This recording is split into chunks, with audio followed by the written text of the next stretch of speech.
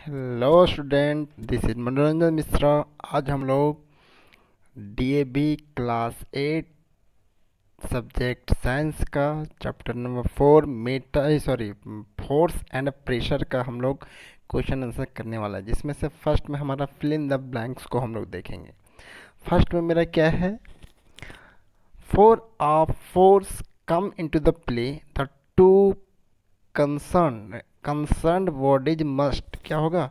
तो होना चाहिए इंट्रैक्ट क्या होगा इसका answer interact with each other second number two draw the water from a well we have to तो हम लोग क्या करें हैं? पुल द रॉप हो जाएगा तो इसमें हमारा हो जाएगा pull pull the rope third number है an unbalanced an unbalanced force acting on the moving object में चेंज तो अनबैलेंस फोर्स लगता है तो क्या चेंज ला सकता है?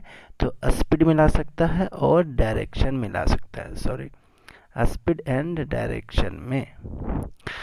फोर नंबर है in the game of the cricket the bell fall तो इसमें सिंपल बात है कि आपका कॉन्टैक्ट फोर्स हो जाएगा, है ना? फाइव नंबर है कि force responsible for the rising our body hair तो जैसे कि आप लोग सिंथेटिक कपड़े पहनते हो तो क्या होता है कभी कभी आपका हेयर है, वो मतलब कि राइज हो जाते थे किसके कारण होता है? तो इलेक्ट्रोस्टैटिक्स फोर्स के कारण। क्या होगा? इलेक्ट्रोस्टैटिक्स फोर्स सिक्स नंबर में क्या है? The atmospheric pressure fill in the blanks we move to the high altitude तो जैसे जैसे हम लोग ऊपर जाएँगे तो क्या होगा? एटमॉस्फेरिक प्रेशर क्या होगा? डिक्रीज होते जाएगा डिक्रीजेज होगा। अब हमारा बी है ट्रू फॉल्स ट्रू फॉल्स में फ़र्स्ट क्या है? द इफ़ेक्ट ऑफ़ फोर्स में change by changing the direction of applied force तो ये आपका ट्रू होगा, क्योंकि हम लोग अप्लाइड फोर्स का डायरेक्शन को चेंज कर सकते हैं तो उसको चेंज होती है, ये ट्रू हो जाएगा.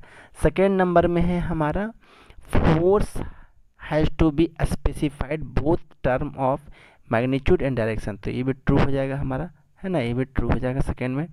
थर्ड में है frictional force is example of non contact force नहीं फ्रिक्शनल फोर्स कॉन्टैक्ट फोर्स है तो ये आपका हो जाएगा फॉल्स आपका फोर नंबर में है gas filled balloon move up तो मतलब बैलून मूव अप कर जाता है क्यों?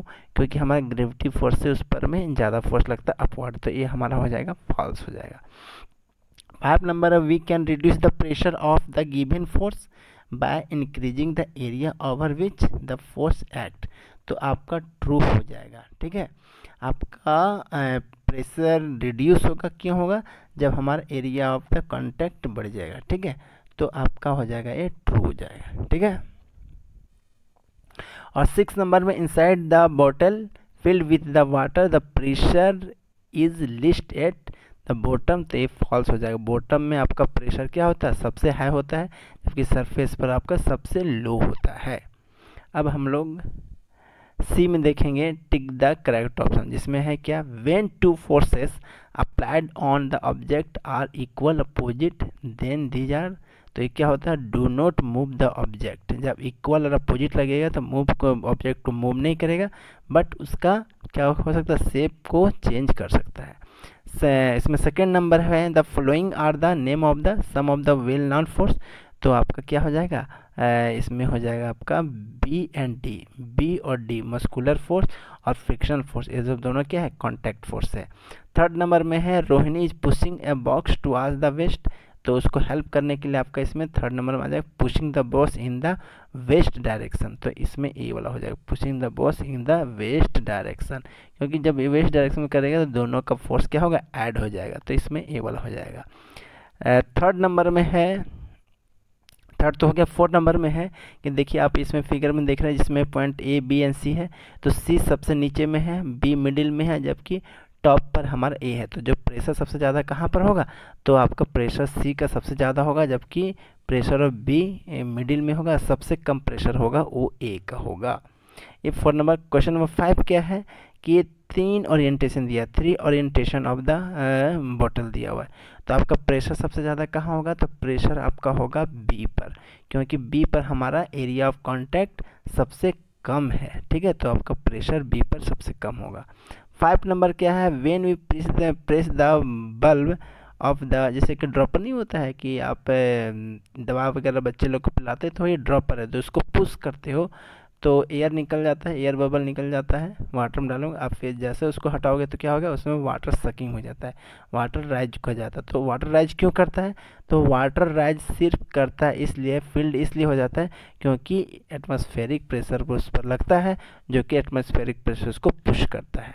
अब सेवन नंबर क्वेश्चन है। देखिए, आपका एक आपका ब्लॉक है, जो कि रेक्टेंगुलर बॉक्स है, जो कि जिसका लेंथ है हंड्रेड सेंटीमीटर ब्रेथ है आपका फिफ्टी सेंटीमीटर और हाइट है आपका ट्वेंटी सेंटीमीटर तो कहा जा रहा है कि प्रेशर कब ज़्यादा होगा? तो सिंपल बात है कि प्रेशर आपका का तब ज़्यादा होगा जब हमारा एरिया कम होगा। तो एरिया कम हमारा कब होगा? जब हमारा ब्रेथ और हाइट मिलेंगे। तो ये आपका इसमें हो जाएगा आपका third number maximum when the breadth and height side are उसका बेस बनेगा। तो ये हमारा था tick the correct option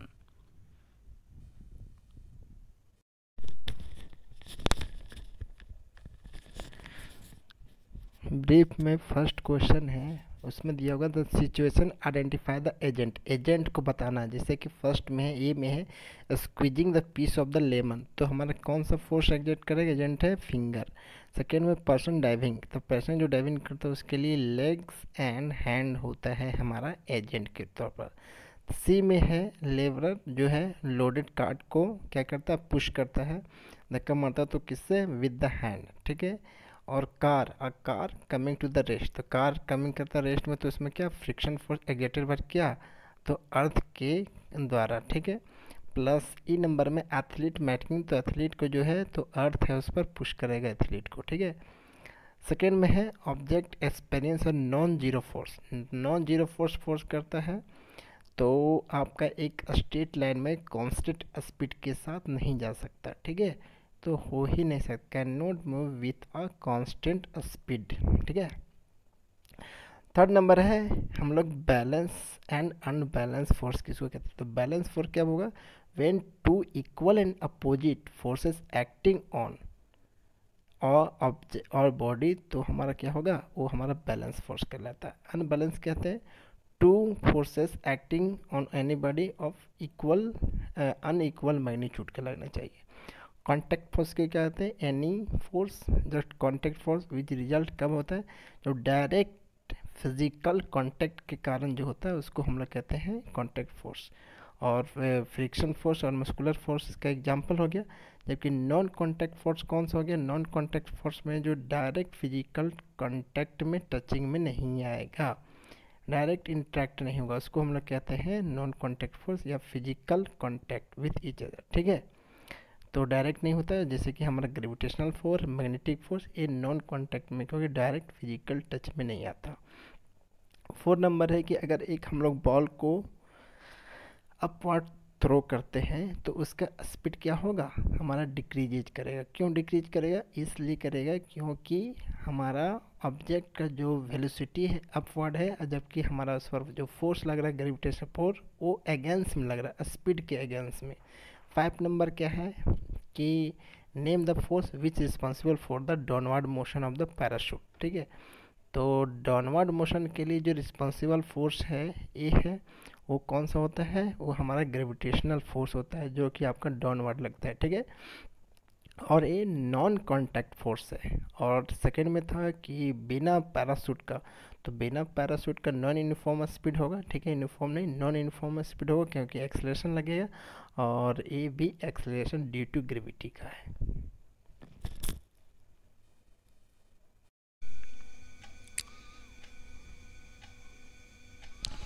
अब इसका जो हम फ़र्स्ट क्वेश्चन है, उसको हम लोग देखेंगे सिक्स में, जिसमें कह रहा है कि प्रेशर पर क्या इफ़ेक्ट पड़ेगा? अगर एरिया को हम लोग डबल कर देते हैं और थ्रस्ट को कांस्टेंट रखते हैं तो सबसे पहले हम लोग जानते हैं कि प्रेशर बराबर क्या होता है।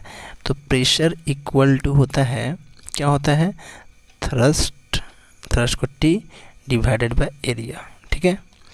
एरिया होता है। तो हम लोग चूँकि कह रहा है कि अगर हम लोग एरिया को डबल करते हैं तो थ्रस्ट पर क्या होता है? तो थ्रस्ट को हम लोग प्रेशर पर क्या होता है? तो हम लोग जो नया प्रेशर उसको हम लोग पी वन मानते हैं इक्वल टू क्या बोल रहा है? एरिया को डबल करते हैं। यानी कि टी का टी हमारा रह जाएगा डिवाइडेड बाय हमारा ये क्या हो जाएगा? टू ए ठीक है?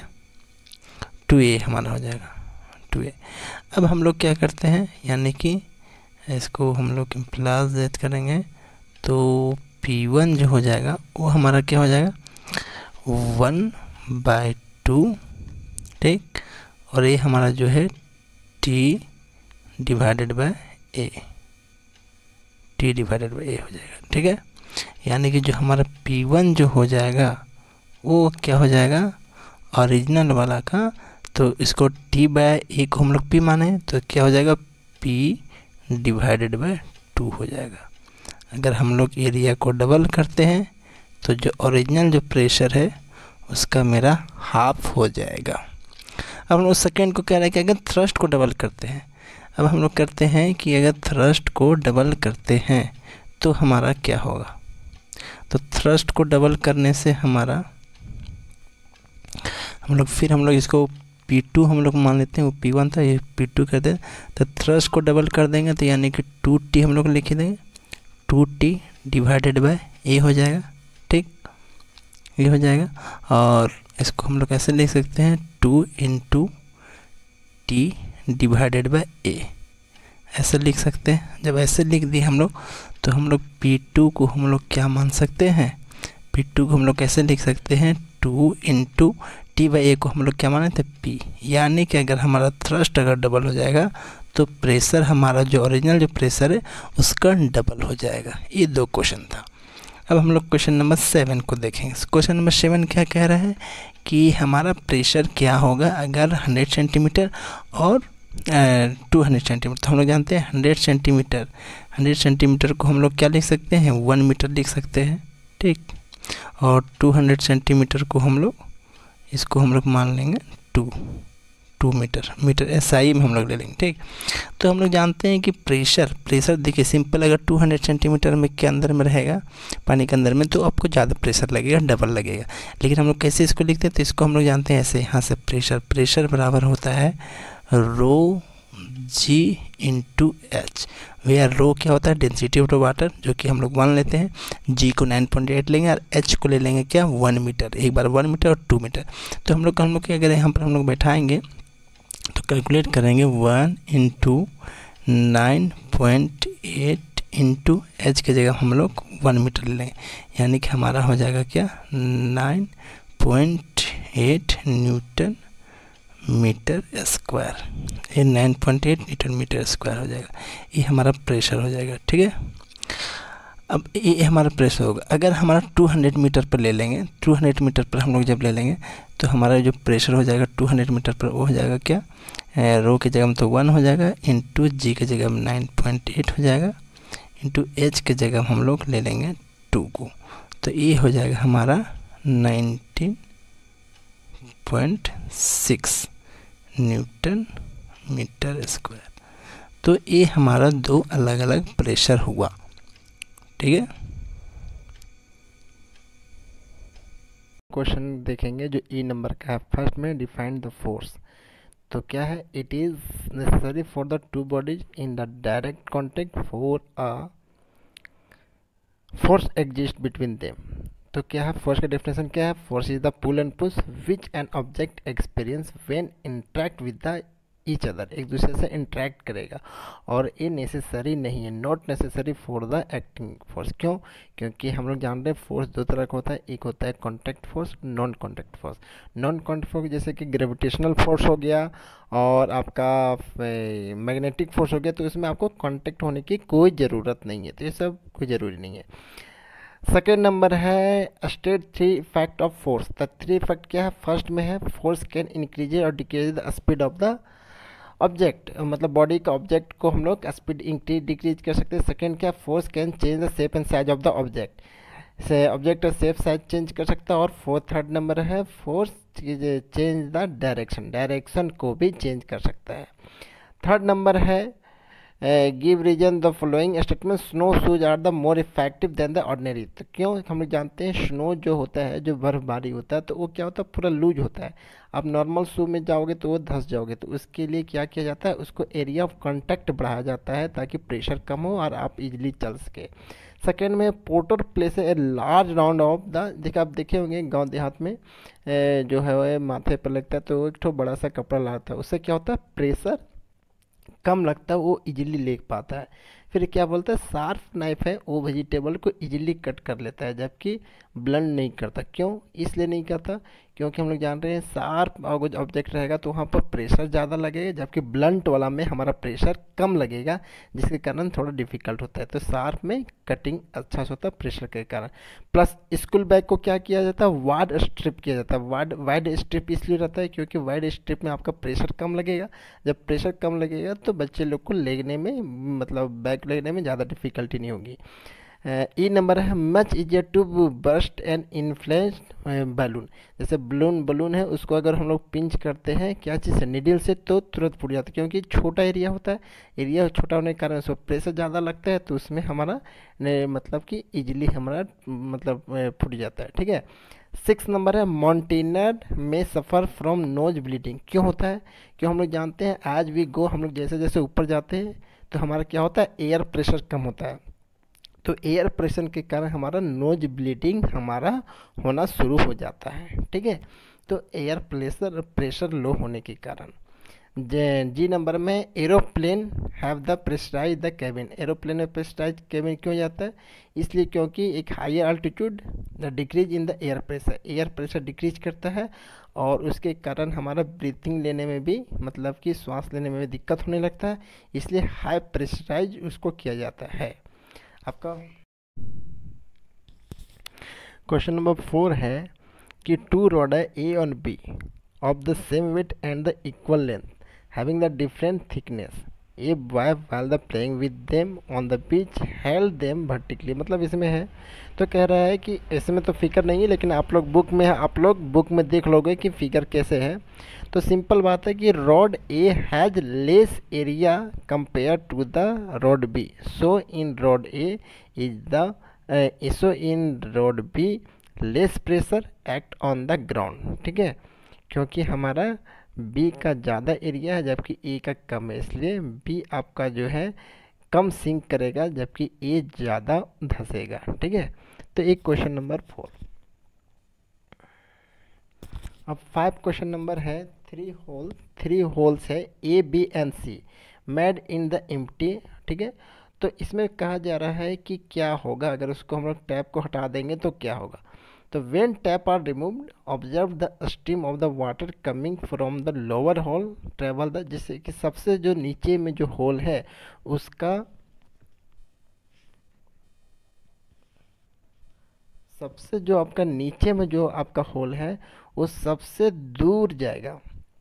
जबकि हमारा जो सबसे ऊपर का जो होल है, जैसे कि ए बी एन सी है ठीक है तो सबसे नीचे में आप फिगर देख लेंगे, यहाँ नहीं बनाया हुआ है, लेकिन आप जब फ़ोटो देखेंगे तो उसमें देखेंगे जो सबसे नीचे का होल है, उसका जो रेंज जाएगा, वो सबसे ज़्यादा दूर जाएगा, क्योंकि हम लोग जानते हैं प्रेशर जैसे जैसे हम लोग ऊपर से नीचे जाते हैं लिक्विड के केस में तो प्रेशर बढ़ते जाता है, जबकि जो टॉप में जो हमारा होल है, वो सबसे कम दूरी तक उसका जाएगा।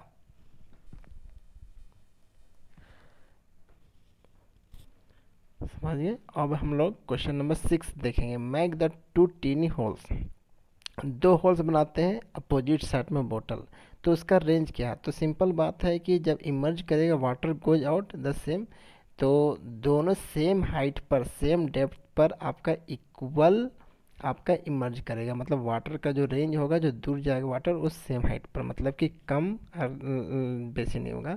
आपका इक्वल डिस्टेंस कवर सेवन है discuss in brief variation the atmospheric pressure तो क्या होता है, हम लोग जानते हैं कि as we go upward atmospheric pressure क्या होता है? इनके सॉरी यहाँ इंक्रीज लिखा हुआ आप लोग यहाँ पर डिक्रीज कर दीजिएगा। जैसे जैसे हम लोग ऊपर जाते हैं अल्टीट्यूड में जाते हैं तो हमारा एटमोसफेरिक एटमॉस्फेरिक प्रेशर क्या होता है? डिक्रीज करते जाता है। हम इंक्रीज हो गया टाइपिंग उसको आप थोड़ा सुधार लोगे।